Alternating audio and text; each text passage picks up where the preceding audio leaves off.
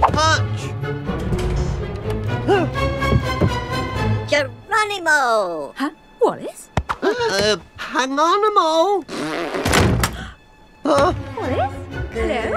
I say, open this door at once. oh, Totty. Uh, Lady Tottington, if you don't mind. oh, I'm afraid I have some rather bad news, Wallace. Uh, yes, thing is, is, well, you've rather let me down with this beastly beast business. I suppose I have. Yes. Well, it's obvious to me that you have absolutely no idea where this poor creature is.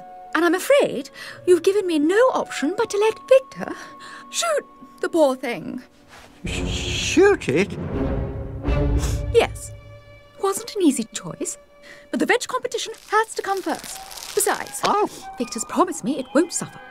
It'll be quick and painless. how thoughtful. I cannot deny it was a difficult decision for me because I've recently developed Ah, feelings for you. uh, feelings. Oh, well, never mind, eh? Ta-ra then. Wait, Wallace, I haven't finished yet. There's so much more that needs to be said. Well, I'll give you a tinkle, shall I? Can't we at least shake hands? Part as It's not very convenient at the moment. Thanks for coming by. Well, I. I.